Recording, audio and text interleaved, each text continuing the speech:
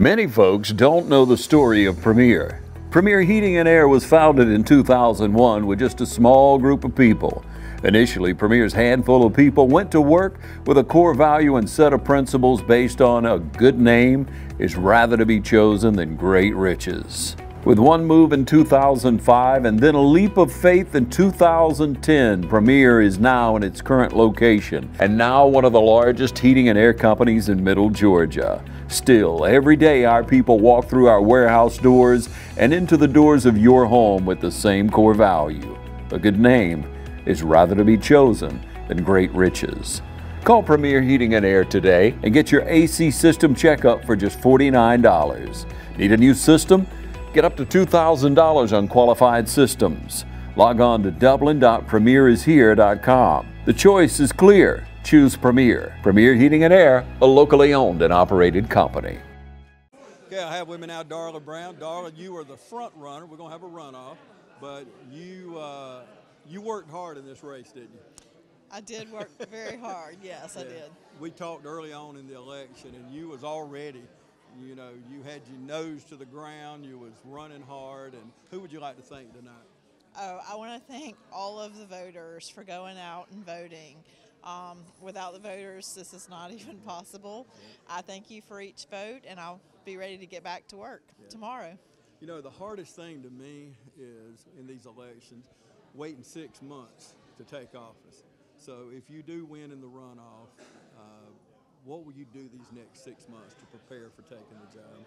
I'll learn as much as I possibly can about what it takes to become a tax commissioner.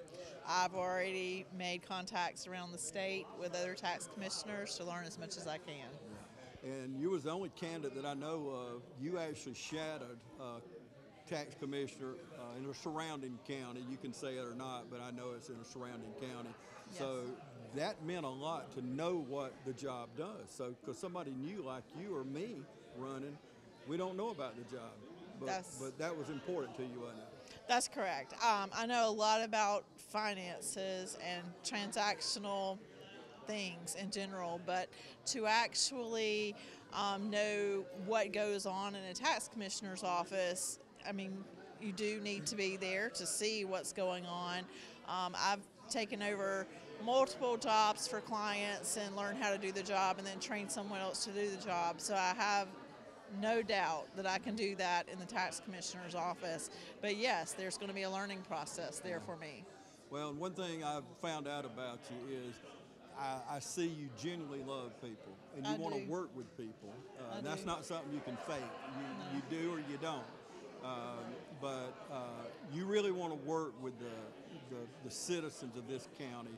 We all have to pay taxes, but you know, bad things happen to good people every now and then. But That's you right. want to work with every single citizen, don't you? That's exactly right. And every one of those citizens, no matter what, I will treat them just the same. Um, I actually learned that customer service back when I was in high school. I worked for a veterinarian up in um, Danville, Georgia. Dr. Gary Hall, and I saw him treat every client that he had yeah. come to his office just the same. And sometimes people couldn't pay, but he made other arrangements for them. And so, yeah, I love people, and I want to be able to serve the people of Laurens County. Now, you talk to a lot of people. What do, what do the voters, what do the citizens say to you that they want uh, out of the tax commissioner's office?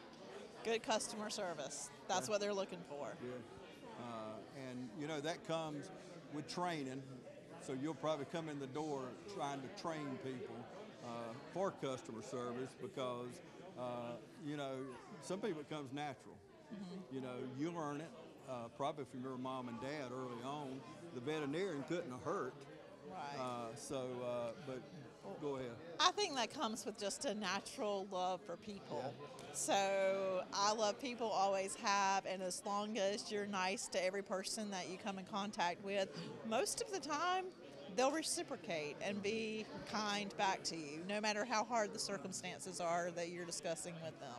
And last thing, uh, there's this guy, uh, he's got about the same amount of hair I do that worked hard. I saw him everywhere. I'm talking about her husband, uh, Bill Brown, but uh, he worked hard, didn't he? My husband did work hard.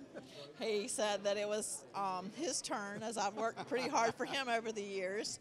And actually, I've got to give um, credit to my father in law as well. He's been all over this community putting out signs. The sign campaign has been his, he designed the sign.